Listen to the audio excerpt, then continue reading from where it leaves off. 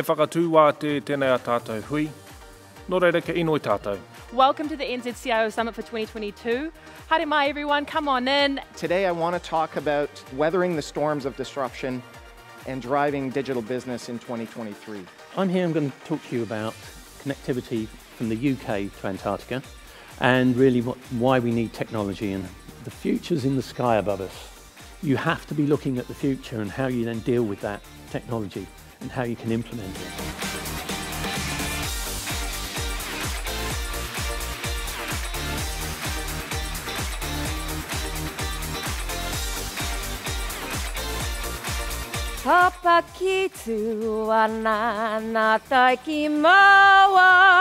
What are you actually offering your employee? What are you actually offering your kaimahi? Not just the good salary, but what else? That's what they're looking for. They're looking for that what else.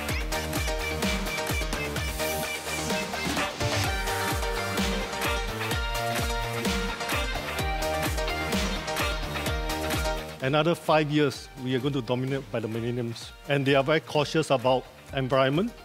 And they're also very cautious about how they, they can stay in the future. We are going to be um, talking about decarbonising IT for digital sustainability.